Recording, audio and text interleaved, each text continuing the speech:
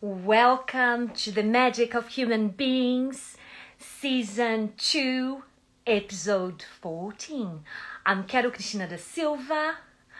I'm your host. And for those of you who don't know, I was in Star Wars. I played Rabe, handmaiden to Queen Amidala. And uh, I want to say this quote one of the most vital ways we to start again. One of the most vital ways we sustain ourselves is by building communities of resistance places where we know we are not alone.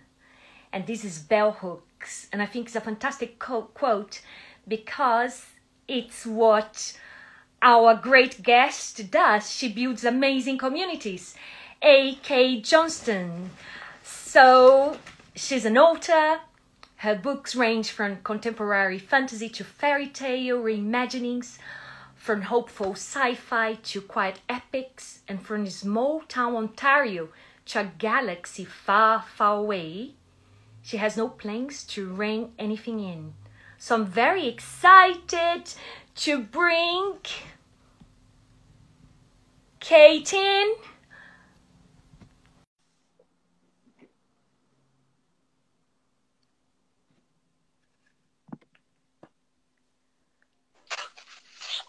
Hello. Hello. Welcome. I just remembered I forgot to clean my camera. Okay, go, go, go for a little clean, camera clean. There we go. A little bit better. Oh, lovely to meet you. Likewise. Kate, something so funny happened. Uh, so we said 10 a.m., yeah? Yeah. but actually was for me for you would be 9 a.m for you. Right. But i thought I, I thought it was 10 and then and then i'm coming here and i'm like welcome to the magic of human beings. And I'm announcing you. And i'm saying yes and she wrote these amazing books and also star wars books and da da da. And then uh, where is kate oh and I was like, does you know, even know how to how can I call and and was so funny. Oh my goodness. But I think what happened was when we planned this, North America was on summertime, uh, but England wasn't yet. So when I looked it up, it was four hours. But then you guys went on summertime. Yeah. And then it went back to five. but you know, it was so lovely because suddenly I was there alone wondering black day about Star Wars and and there were so many nice comments and someone said then someone said oh but he in Canada is 914 now and I was like okay. I hope you can come back. Goodbye oops. Um thank you and hope to see you in 45 minutes oh, it was so funny. But it was good I had a warm up. oh, so I start by asking like about your background. So where were you born and um, I was born in a small town in Canada called Seaforth and um, I was actually born in the city, so like an hour away from that. My oldest brother was born in our small town hospital in the middle of a blizzard in December. And after he was born, the doctor looked at my mother and was like, "You're having the rest of your kids in London. We will drive to London." I don't. They, there was almost a C-section, and the surgeon couldn't get there because of the blizzard and like all that kind of stuff. So the rest of us were born in the city. Um, but I grew up in this small town uh, called Seaforth, and then later an even smaller town called Egmontville, uh, which had like 500 people in it. And yeah, when I say small town, I mean small town. Uh, and and that's kind of where I where I got started. Great. And uh, how did you get involved like with Star Wars? Like when you're 15, birthday. Mike, aren't you lucky? Yeah, it was the best birthday present ever. Um, so my my brother, aforementioned, born in a blizzard, um, was the person who introduced me to Star Wars. He had all of the stuff, um, and so when I was three, um, that's my first memory of Star Wars. What is your Um, um, ten years. 10 years, okay. Yeah. So uh, when I was three, that's my first memory of Star Wars is having the like the records playing and hearing all the words and stuff like that. Um, and then you know I loved I loved the movies and and I remember him telling me you know George Lucas has this plan for three before and three after. That's why it's episodes four, five, and six. But we're probably never going to see them. Um, and then on my 15th birthday, we got episode one. so it was like a personal gift to me from George Lucas, which was very nice of him. Uh, and, and it's kind of been, you know, a roller coaster that only goes up ever since. Wow. And uh, from being like exposed to this whole world, handmaidens, and from there, what happened? Um, well, as I said, I was 15, so I was like, these, these girls are pretty cool. I love them a lot. And, um, we couldn't, like, if we wanted to see the movie again, we had to go to the movie theater, which for us involved a 45 minute drive. And, uh, cause there wasn't a movie theater in the town. So we had to get someone to drive us to the movie theater if we wanted to see it again.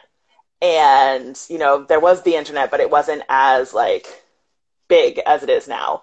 So I, I distinctly remember like poring over magazines at the libraries, like looking, looking at handmaiden faces, like with a magnifying glass, being like, do you think this one is this one? Do you think this one is this one? I'm like trying to figure out who the actresses were was almost impossible. Like it was ridiculous, but a lot of the girls in the in the handmaiden fandom that's how they got started in like learning how to code because they were building websites on geocities and like learning how to you know keep track of of all these files because they had all these magazines that were their main resources. So it was kind of interesting to sort of watch that come together and to be part of that as people were like building this fandom um, and then of course with the internet things became significantly easier because we could just look people up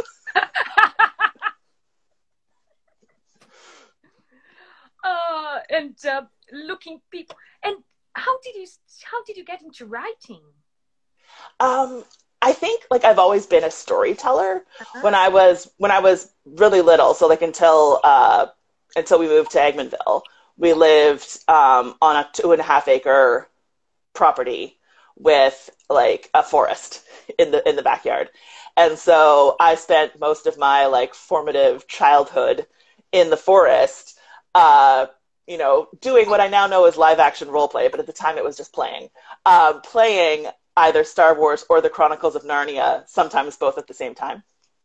So I was like making up all these stories and all that kind of stuff. And then when I went to university, um, and I had my own engine, my own computer, I started writing fan fiction, and that's kind of from that.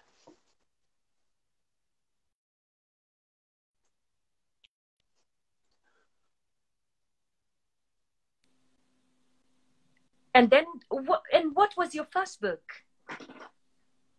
Uh, my first book that I wrote, the first book I wrote is called The Stone Thief, and it's really terrible and it will never get published. you have to practice first, right? Like it's bad. Uh, and but the first book that I got published is called The Story of Owen. The Stone Thief. Yeah, So is that the first. raw there? Yeah, yeah. But the first book that I got published was The Story of Owen, Uh huh. uh, which is a story about dragon slayers in southwestern Ontario. And coincidentally, set in the town that I grew up in. Um, because, well, when I started writing it, it was like generic small town. And then it was, you know, everything takes place in the States. Maybe I'll just set it in Canada. And then, and then I was like, you know what? I'm going to set this at my high school. so I did. Perfect. Yeah, so it's Dragon Slayers and a musician uh, who kind of writes music about about the Dragon Slayer. She's his bard, um, and they're sort of uh, trying to uh, get people to take dragon slaying a little bit more seriously. It's become very corporate, and they're trying to get it back into small towns. And how how hard was it to get published? Like, how what was your approach? Did you send it to uh, publish houses? Um, um, I uh, had some excellent timing. um, I was at this point I was friends uh, with a few authors on through Twitter, uh, through through the internet, and um, Andrew Karre, an editor that I really respected, had an open call, which meant that you could send him a manuscript if you didn't have an agent. Um, and so I did, and then one of my friends emailed him and was like, "You need to read this book." And like four days later, he offered to buy it. And I was like, uh, let me ask my agent. And then I emailed the person I wanted to be my agent. And I was like, hey, I'm pretty sure Andrew Karre is going to buy my book. Do you want to be my agent? Wow. Yeah. Which is not usually how that happens. It does not usually go down that way. Usually you query agents for a while and then they take you on and then they query editors for you. So I did it kind of backwards and really, really fast. but it's your chance. Yeah. Yeah. Yeah. It was it was timing. I had a really great book. I had perfect timing. It was like and you know, I I will say that um, I started building my network of authors and like learning how to write and learning how publishing worked in 2008. So it was 2012 when this happened. So it was still four years. It wasn't like I just like stumbled into a publishing deal. Um, but it was it was a little bit faster, a little bit faster than usual. And once you start getting published, publishing, did you think about like writing like a Star Wars book? Was already a plan? Oh yes, almost immediately. Um, so this was uh, 2014 and 2015. So we knew that episodes seven, eight, nine were coming but we didn't really know anything about them. There were rumors about Solo, there were rumors about Kenobi, there's always going to be rumors about Boba Fett, like all that kind of stuff. And um, I wrote a query for a trilogy of handmaiden novels that was called The Queen's Hands. um, and I sent it to my agent, and he loved it. And at that point, um, I had already sold two more books, A Thousand Nights and Spindle, to Disney Hyperion. And when I sold those books, in the back of my mind, I was like, there's going to be a meeting someday. And they're going to be like, we don't have any YA books, like teenage, teenage books for Star Wars. We should, we should get on that. And I want someone in that room to know what my name is. Um, it turned out that meeting had already happened. So I was a little bit late, but it was like I was in the right idea. Um, so because I had a contact at Disney, um, Josh sent my agent sent the proposal to her, and then she sent it to Mike Siglain, who is the uh, executive director of editing at Lucasfilm. And he called me a couple days later, and he was like, "Okay, so we're putting some movies together." And I was like, "You think?" um, but we're we'll get back to you. Like you're at the top of our very short list. We'll get back to you. Um, so I just waited basically, and eight months later, they were like, "Do you want to write a book about Ahsoka?" And I was like, "I do actually want to write a book about Ahsoka." I was much less calm than that. I was very excited, but that's that's basically what happened. And then once you've done Ahsoka, did you go like, mm, "What about the Handmaidens? What about?" Pretty much. What, what's happening there? I was very not subtle about it because, like, when you go to conventions and stuff like that, people are always like, "Oh, what else do you want to write?" And it was always like, "Handmaidens, give me the Handmaidens." Um, and then they did. You kept putting a wish out there into the world. Yeah, just kept putting it out there, and um, they had the original proposal, so they knew that I had ideas.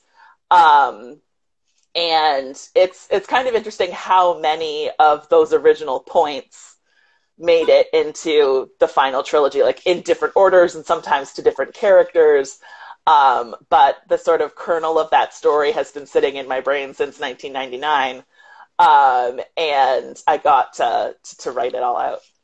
Oh my God. Talking about go and doing the world what you want to see it out there. Yeah. yeah. And it was, it was a lot like that because, um, in, in writing, we talk a lot about the three different kinds of goal setting. So there's the the goals, the goal that you can control. Mm-hmm. And then there's your stretch goal, which is like if everything goes perfectly, this will come together. And then there's your dream goal, which is totally out of your, your control. And the first time I said out loud, I want to write Star Wars books about the handmaidens, it was a total dream goal. Like I didn't think there was anything I could do. But then your brain starts to like turn it over and come up with ideas. And all of a sudden, Disney knew who I was, and I was a respected author, and people knew I could turn a manuscript around in a hurry. And like all of a sudden, it was a stretch goal and I I love like I, I talk to a lot of kids because I well when I was doing school visits I talked to a lot of kids and I'm always like you know what sometimes something that sounds completely unreasonable you say it out loud and your brain is like okay we're going to work from here and and I I love that about so many things.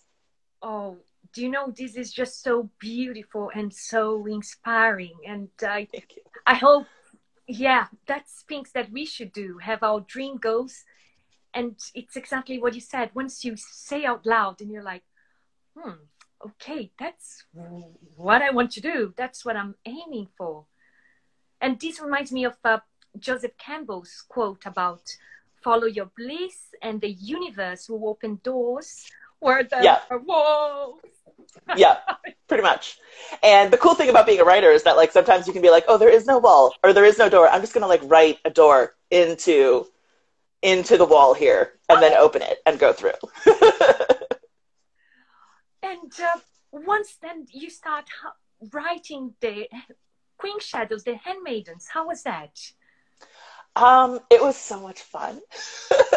I was I was a little bit worried. So like with Ahsoka, um, she was a character that I really really liked, but I met her when I was an adult. Like I was in my twenties, might have been in my thirties uh, when I met her. Like she was she was a character. Padme though, like she was one of my role models when I was a kid, right? Like so when and like and also also Natalie Portman um, because like I, I kind of got to watch her her grow up as I was growing up and I will always remember going back to the magazines one of my favorite pictures of her is she's at a costume fitting and she's wearing I don't even remember what she's wearing. She's wearing like one of her ridiculous Amidala gowns and she's holding a gigantic textbook in one hand and reading it because she's studying because she's at Yale.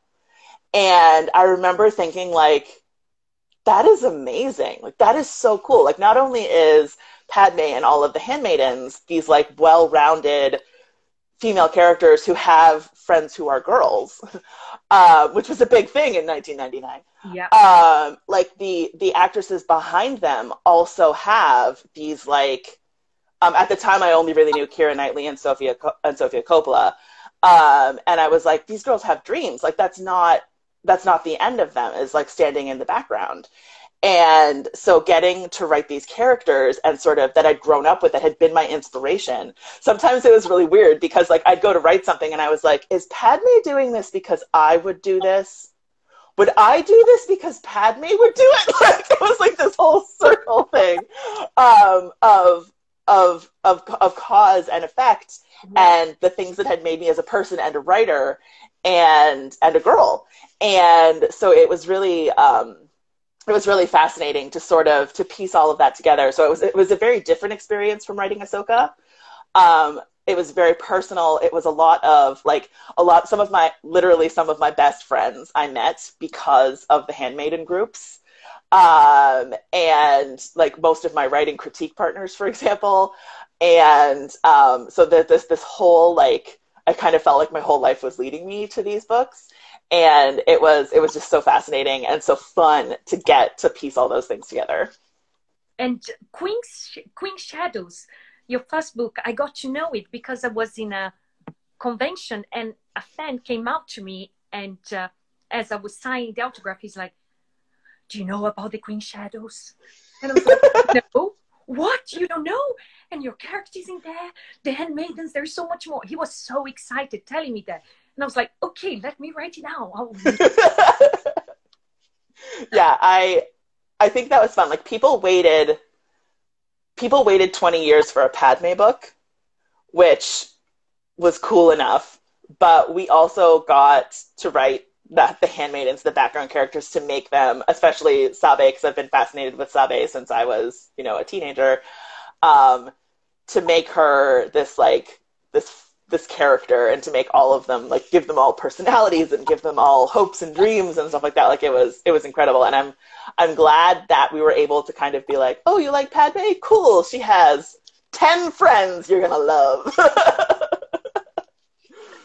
someone's already saying so excited about the third book can't wait well wait wait we're coming to that and uh, so from Queen shadows how then how fast was like suddenly Queen's Peril? uh, the gap between Queen Shadow and Queen's Peril was actually pretty big for Star Wars. Um, Star Wars happens really fast compared to most publishing. Um, most uh, most publishing takes like a couple of years. Like you get the idea, you sell the book, it comes out two years later. Um, Star Wars is like 12 months tops from, hey, do you want to write this book to the book is on the shelf. Uh, Queen's Shadow was a little bit different because of the movie schedule. Um, they had to do some rewriting for The Rise of Skywalker when Carrie Fisher died, so they had to move some stuff around, and my book got bumped a whole year uh, which is unusual. so the the upside was that I got to spend a ton of time with Queen's Shadow. I got to work on it a lot. Um, and it sort of helped me lay the groundwork for Queen's Peril because I knew I wanted Queen's Peril a lot. Uh, so I was very calmly like laying the groundwork of Queen's Peril into Queen's Shadow because I had all this extra time. And uh, Queen's Peril I knew was going to be different because of the connection to the movie. And uh, Terry Brooks, I think it's Terry Brooks, has a hilarious and wonderful um, adaptation of, like a novelization of the movie from 1999. Um, I, I, remember reading it uh, when it when it was published because again we couldn't go see the movie we could read the book though um, so uh, I didn't want to just renovelize the movie. Mm-hmm. Um, so what I had decided to do was write kind of like around the movie. So um, it would be scenes we didn't see, scenes from different characters' points of view, um, and then as much before as we possibly could. So about two thirds of the book happens before the movie starts, and then the movie starts, and we start jumping into other characters' points of view.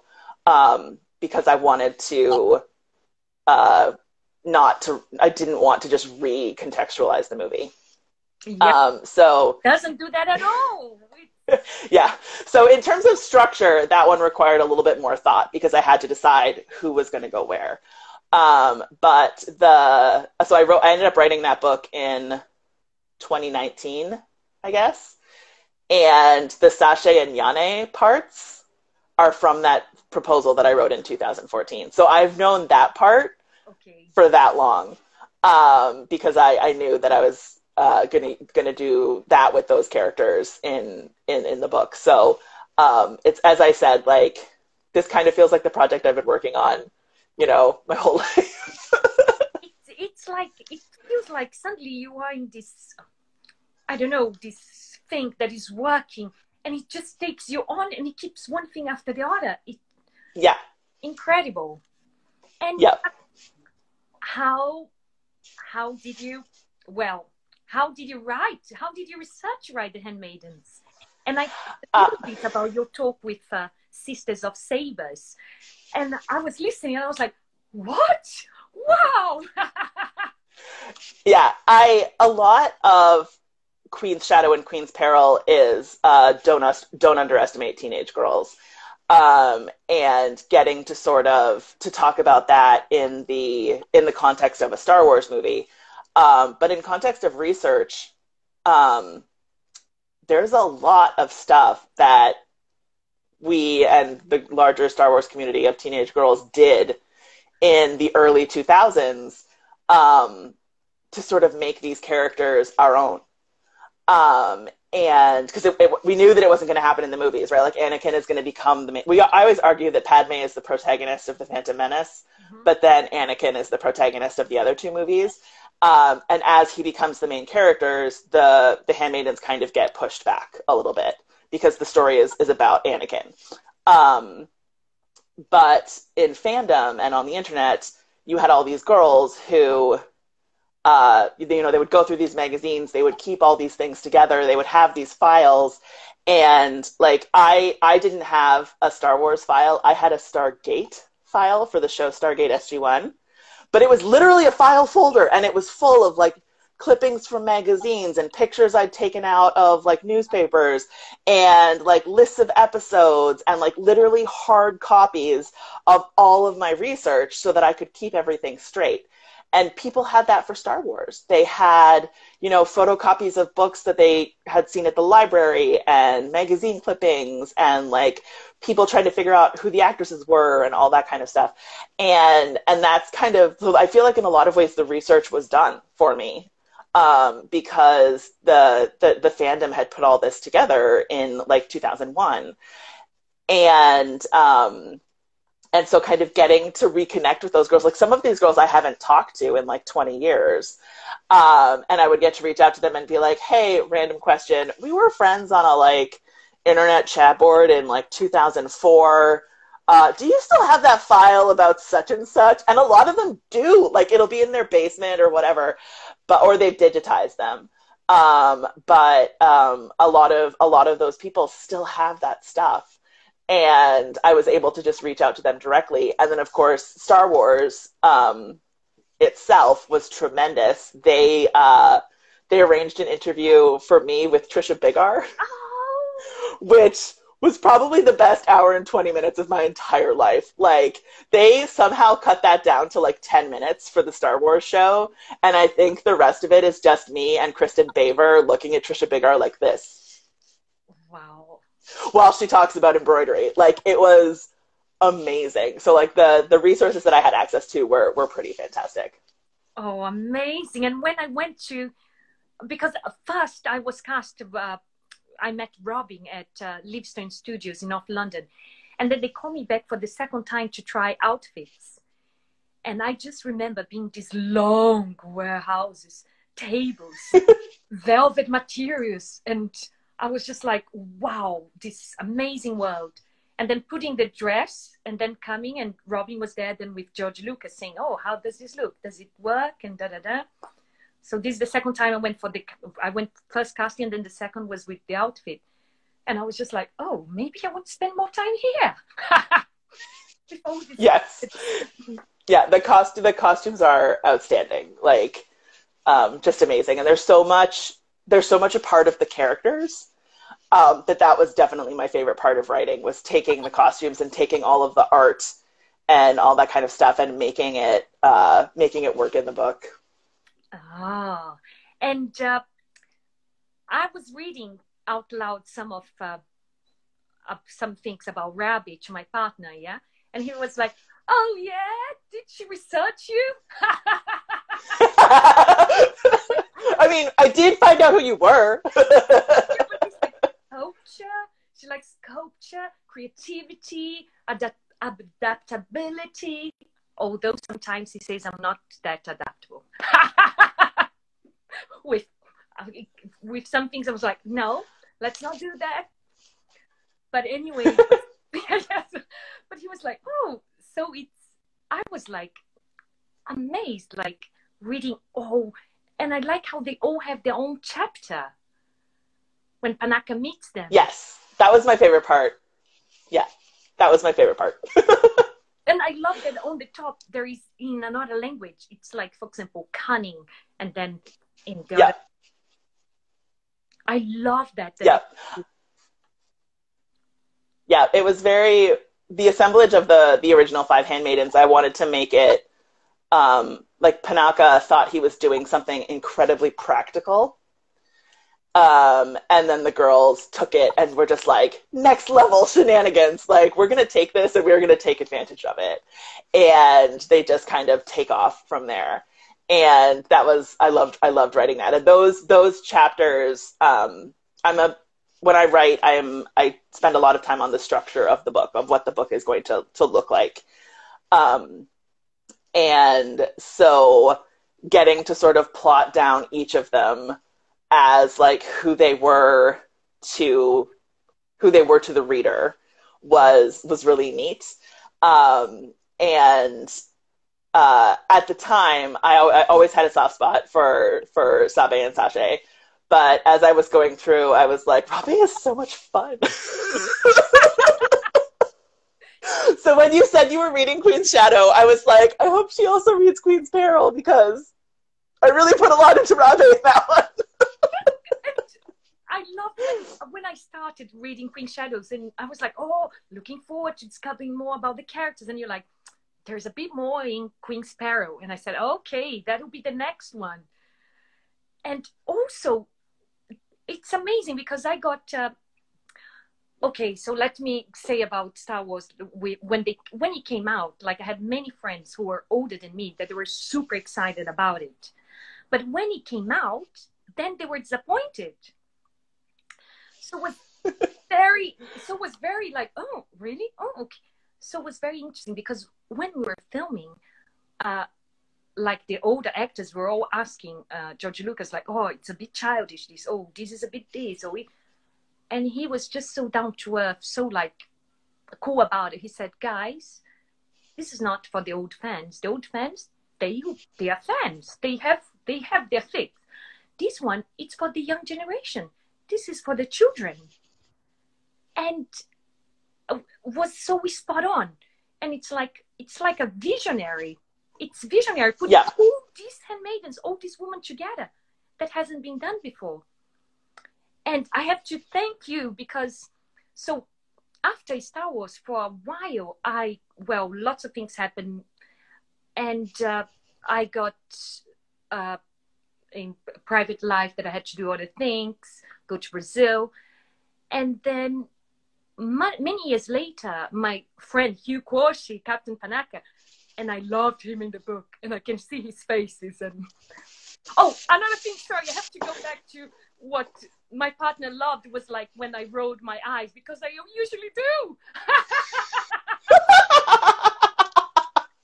Whistling as well, like when they're talking about little things that everyone do, and I'm a whistler. it was like mm, strange. The same way as you said about Padme, the things that were happening. Yeah. So, uh, so what? Oh yeah. So Hugh came to me and said, and I think he did a few conventions, and he said, and he called me Christina, my second name. He said, Christina, I was in this convention, and they were asking to me like if I knew any, any anything about Rabe because no one can find her anymore because I wasn't with my agent, so they couldn't. And if you're interested in doing some conventions, and because I wasn't around for quite a few years. And then I was like, oh, yes, okay. And uh, now, through, for me, all these things, I'm rediscovering all the handmaidens through you yeah. books and reading it.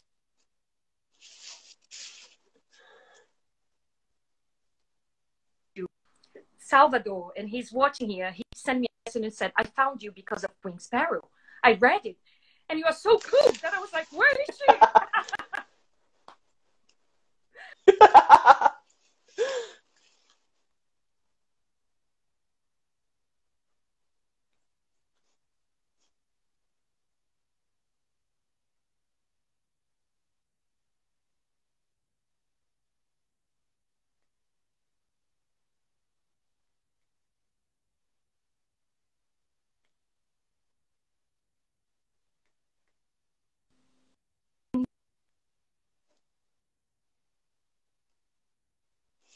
Can you hear me? Sorry, there was a bit of a breakup there.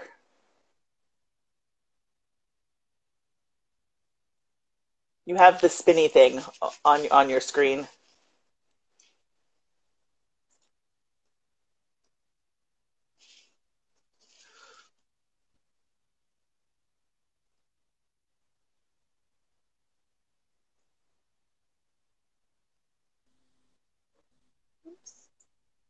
Yes. Whoops, I can sort of sort of hear you, but not oh. really. Oh. How about now? Okay. Yeah. So the impact. So the Handmaidens had a massive impact when they came out. mm-hmm. in so many people and so many uh, and young girls growing up. And now with your books as well, it creates an even bigger community. It's like so much excitement and and very empowering. It's beautiful. I was like, wow, listening these stories. They dress up, and uh, also because of Padme, some political science woman being like, yes, yes. So talk. Yeah, for sure. I'd love to listen to you about it. What you witness through that? Um, I meet a lot of um, a lot of cosplayers. Uh, the the the fans who make the costumes for themselves and they do it they're incredibly creative they do it with like incredible like ingenuity and engineering and art and all that kind of stuff and we always joke that uh, when you used to do the padme the red padme dress the the, the big one um, you used to have to carry a car battery with you to power the little lights um, but now you can buy LEDs, so it's much lighter um, and and easier and easier to do. So that that's what I'm talking about in terms of like the ingenuity that these that these people put into it. And um, so many of them, they're a lot of them are quite young. They're in college. They're just sort of setting out, um, and a lot of them have a small business. They run a small business based on their art, either their art or their sewing or their manufacturing. Um, and those are those are probably the people I talk to the most are the girls who, um, you know, they're they might have like a, a, a, normal job or whatever, but they also have this like thing they do for fun that they've turned out how to like they've used it to connect to people, they've used it to further a career, they use it to make a little bit of extra money, and I think that's so cool that um, they they've they've found a way to take something they love like Star Wars and uh, and to sort of make it part of their professional life, even if it's not direct, like they're not working for Lucasfilm or whatever, they still have like that that aspect of their lives or that skill they learned, like um, you know, like I uh, like I learned to a lot of my public speaking actually abilities are based on based on Star Wars speeches, and um, so it's really interesting to watch and to listen to these fans who you know they learned something because of Star Wars and, and now it's part of their life. Yeah, and uh, listening to some uh, to the Fangirl uh, podcast talking about letters, letters to Padme, I was very moved. Like people going to hospitals dressed up as the handmaidens. Yeah. Uh, I yeah, it's incredible.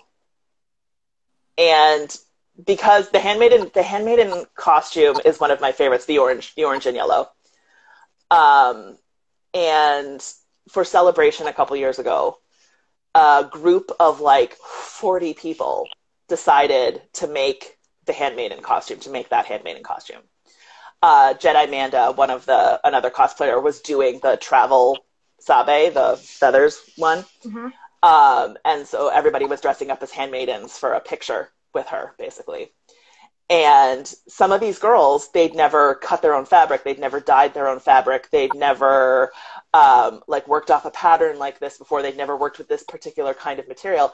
And there was a Facebook group that they could go to, and there were tutorials. And like, so some of these girls, it was their first costume. It was the first time they'd ever done anything.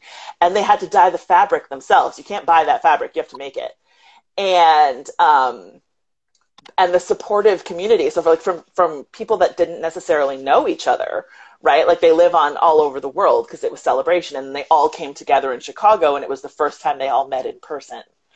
And um, I was there for the photo shoot. It was absolutely fantastic, and um, just you know listening to them talk to each other like oh you figured out how to sew in that hem or oh you figured out how to make the hand thing work or like oh your dyeing is fantastic. Like just listening to the compliments back and forth is incredible. They're so supportive of each other and i love it. Oh this is beautiful. It's and the young girls coming out and being like uh, empowered by she's a senator she's young, she's a queen. I can be whoever I want. Yeah. It doesn't matter. I'm a girl with that thing so for sure. someone said here that uh, Salvador said that uh, in the movie he loved how he could see Padme's dress plugged into the wall. Oh yeah, you can see the cord. You can see the cord coming out of her dress. And, yeah, it's it's a classic.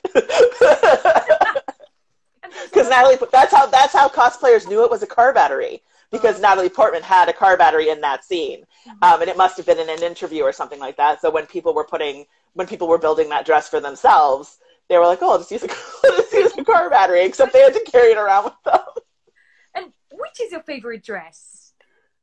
Oh my goodness! From Phantom. It changes all the time. Let's go. Let's go for Phantom Menace because if you go to the, it's so. Okay, Phantom Menace. Okay, that makes it a little bit easier. so my uh, my favorite Phantom Menace dress is the uh, Senate address gown, the red one with the long headpiece. Do you know? What um.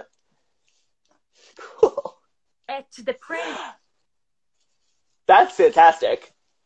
I uh, I love that dress. It's beautiful and it is so complicated. um, I have a couple. I have a couple friends who are making it right now, and it's it's next level. I love that dress so much. And it's heavy. It's heavy. Yeah. yeah. That piece is quite heavy, so you can't be much. Smile and wave. so, for me, visually, that one it's incredible. But if I would have to wear, I would go for the parade one. Yes, I love that one too. And the white and and talking about the premiere, I have a funny story to share with you. Because in the uh, we had the premiere for uh, the film crew, cast, and family, which happened I think was on Sunday, and we all went. And then there was another premiere, which would be uh, that happened. That was like all the big stars and um, that was in the evening, yeah.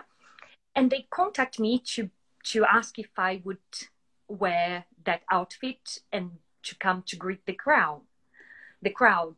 And um, so I said yes, uh, but I want to go to the party too. And they're like, oh, party? Oh, um, we're not sure, and da da da. So I'm speaking to Hugh, yeah, and uh, he's like, "Okay, Christina, I'm gonna talk to them and see if we can get to the party." seems like seems like fair. I know. and, and my partner in the party, and uh, because the handmaidens weren't invited to the party, I don't know why. Maybe too young, too young. The handmaidens were too. well, at least Knightley was twelve, uh, and then so this is look the Padme and her, her handmaidens how close they were yeah?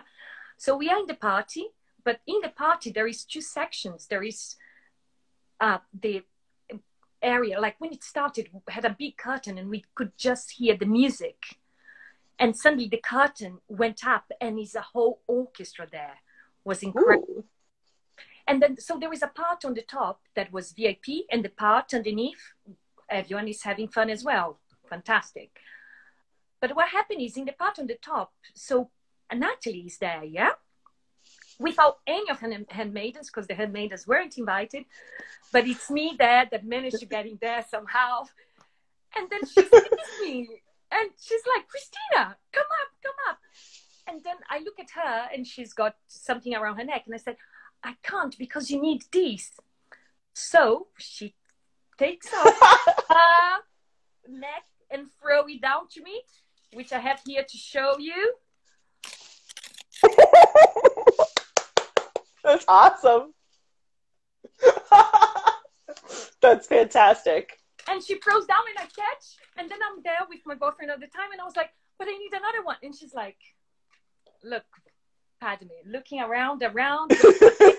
she grabs one from the table and just throw it down.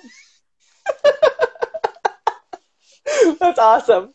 And then, and then we, we were up and talking and then of course the other ones who because we were together all the time because me and Eirtaé because we were next to the queen all the time so we got to be close to Liam Neeson, Ewan McGregor and Hugh and I shared a car because we are both from North London so we became good friends. So it was lovely party. And That's awesome. Yes. Oh funny, so funny, and she was lovely. Like, and she lived near where I was living as well. And one day we had the day off. She said, "Christina, shall we go to picnic in Primrose Hill?" And I said, "Yeah, sure." So we were there, sitting on the grass, having picnic. Every uh, every time I talk to someone about about the Phantom Menace, after like the 35 minute mark or so, it's always like, and then Natalie Portman was awesome.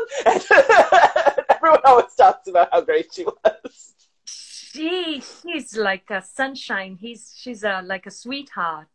And her parents were around as well and really lovely too. That's so and, awesome. And I was slightly older than them uh, because at the time I think she was 16 and I was 21.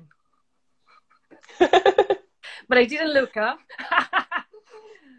and uh, so yeah, so I became friends with her mom. We swapped Christmas cards for a few years, and uh, I want to tell you something that I read on the book that I love was like about Rabe that it was that it was it was another trick Rabe devised when they made it when they made up Amidala they also made up the handmaidens to look as much alike as possible.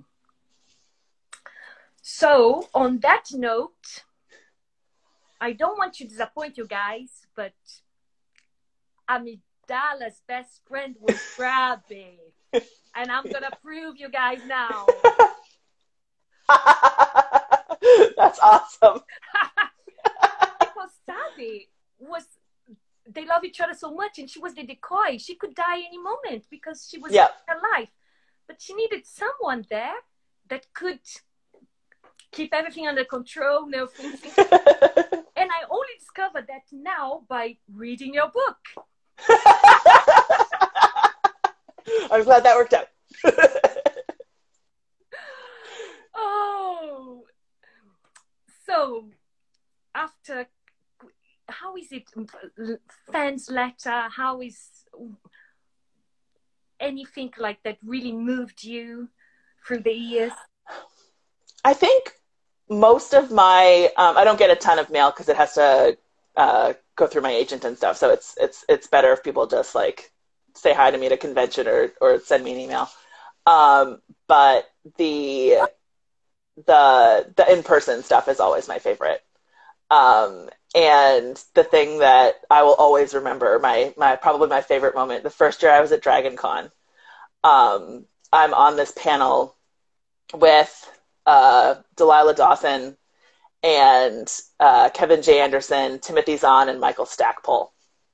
So it's like the three kind of old guards, and then like me and Delilah as like the the new people and there's like 500 people in the audience. I can't tell anybody. I've, I've lied to people about Queen's Shadow like 400 times over the course of the weekend. Like it was awful. I couldn't tell people I was writing it. So I had to be like, oh yeah, it would be really nice to write another Star Wars book.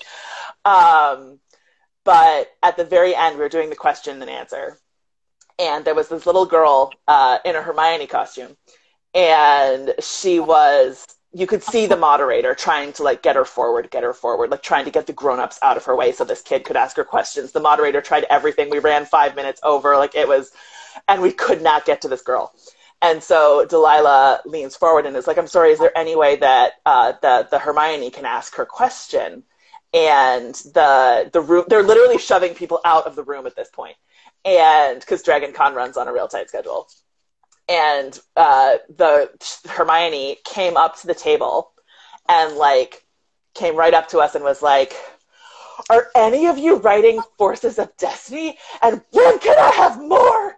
And I was like, "This tiny child was going to ask Timothy Zahn about a YouTube ch- about a YouTube channel."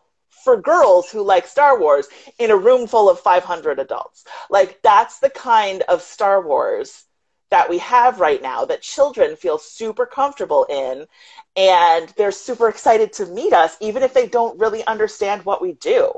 And i'll just remember that girl. Like she was she was i've met her a couple times since then we keep in touch. She was eight at the time and she was going to get up in front of 500 fanboys and ask like and asked that question. And i'm like i don't know if i would have been that brave when i was eight years old. Like that was amazing. And i was like I, and that's my favorite interaction with a fan is that she she just loves star wars so much. She wanted to ask that question and i i love i love it. Oh. And someone here asked a question about uh,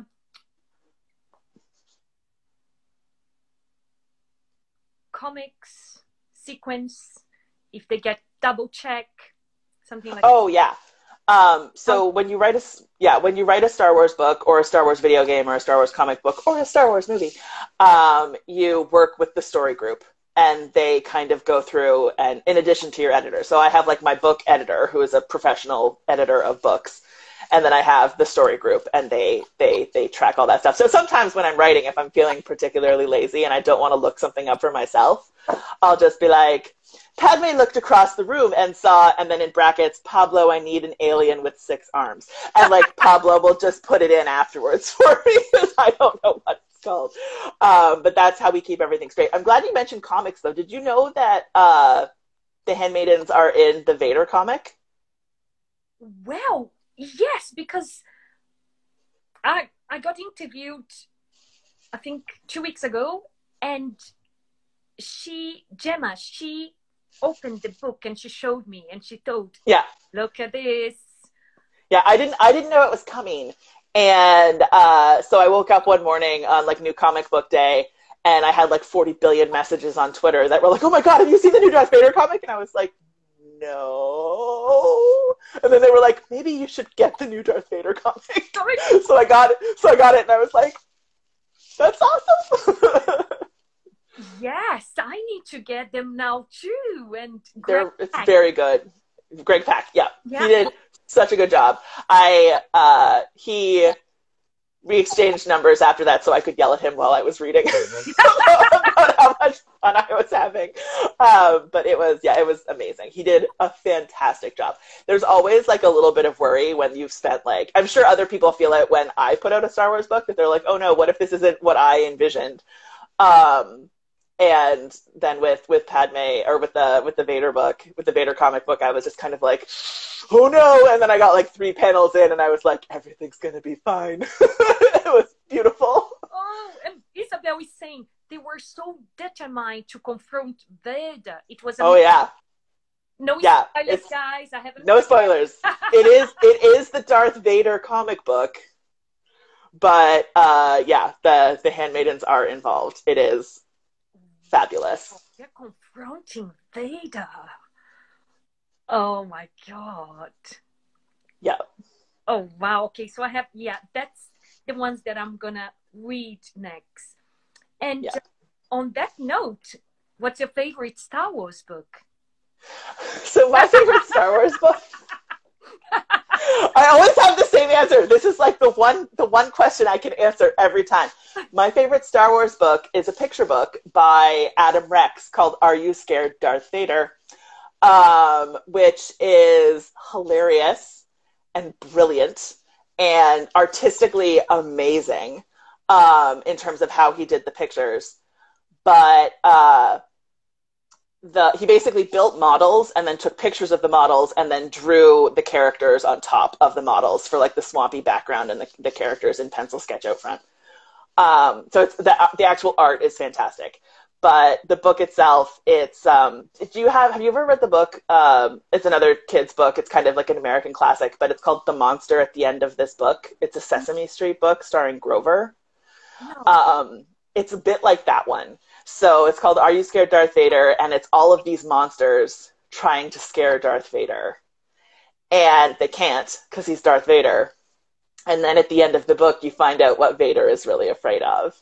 And um, it's just, it's so good and so funny. Like, so funny. I have a very distinctive giggle. Um, and so uh, when I read this book the first time, I was at a convention. I was at San Diego Comic Con, and the Disney booth was like around the corner from the Del Rey booth. So like the Del Rey booth faced that way, and the Disney booth faced this way. So I was in the Disney booth, laughing my head off at this. Are you scared, Darth Vader? and Daniel Jose Older was signing Last Shot in the Del Rey booth, and he got up and came around the corner and was like, "What are you reading?" what is so funny? because I was laughing so hard, like it was so good. Uh, so the uh, yeah, that's that's my favorite Star Wars book. Are You Scared, Darth Vader by Adam Rex. Yeah, I'll have to check that. And um, I can see we are going to be running out of time soon. So I have to ask you some questions that I normally ask, which it is Okay. if you have a superpower, what would that be? My superpower is that without exception, I can always pick the longest checkout line at any grocery store. Pick the what? The longest checkout line. Like when I get in a line, don't get behind me because you know that that line is going to take forever. Well, but what is your superpower if you have That is one? it's not a great superpower, but that is the superpower that I have. If I was choosing, Yes. if I was choosing a superpower, um, teleportation. I miss people so much, so much. It's teleportation. you know, I've been talking about that. I've been talking, mm, soon, like my mom in Brazil, I'm like, oh, soon they are going to invent something, mom, and I can press and I can just be there and just give you a hug. Yeah, yeah. I miss people so much. Great power. And uh, if you could travel, travel machine anywhere, past, future, where would you go? um. So there's this um, archaeological mystery um, around the city of Kadesh in the Middle East, in what is now Israel. And it was the site of a battle between the Hittites and the Egyptians. Uh, it was either Ramses II or Ramses III, I, I don't remember. Huge battle, chariot warfare. It goes on for several days. And then everybody goes home, and both sides claim to have won it. So we have no idea what happened in this battle because the Hittites have their propaganda version of what happened, and the Egyptians have their propaganda version of what happened, and literally nothing changed in the city. So, like, we have no idea what happened. I would love to go back and just be like, finally, some answers. Not even who won, but like, what happened? um, and uh, oh, what's new? The new book coming out. Oh yes, um, I have I have two books on the horizon right now. So uh, in November is Queen's Hope, which is the third Padme book. Uh, but but in one month, um, Etherbound comes out, which is my next uh, book that's not Star Wars, and it's it's it is a space opera, so it's like a space adventure rebellion. Um, it's not like as I would say it's not quite as alien as Star Wars is. Like everybody's everybody's human, um, but it's it's definitely got because you know Star Wars is embedded in my DNA. It's basically it's got some some Star Wars elements to it. But Queen's Hope, I'm super excited for. I'm actually working on it. It is right beside me, just out of camera, like right here, Can you not just right here. do a little freaking? Well, it's a lot of it's a lot of it's a lot of loose leaf paper right now, so it would probably just be like, I love it. And then I have to put them back in order. Um, but yeah, well, I'll show you the. Ooh, That's the first page. exciting. And uh, I want to read this quote, which says, "All these stories illustrate courage has a ripple effect. Every time we choose courage, we make everyone around us a little better and the world a little braver. And our world could stand to be a little kinder and braver. Brené Brown, which I love. And I think this is perfect for what you do. Make 100%. kinder, braver, and empowering, and it's beautiful. Kate and it's contagious. And Thank thank, you. Thank you for being part of the magic of human beings and lovely to meet you. Thank you. And thank you. Oh, my parents just signed it. Thank you so much for reaching out to me about the book.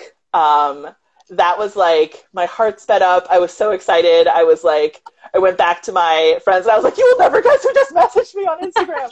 um, and that was like, it was amazing. So this has been like, this has been absolutely incredible.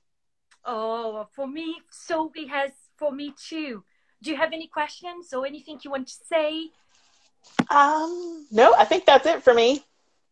Great. And you have fun girl tonight.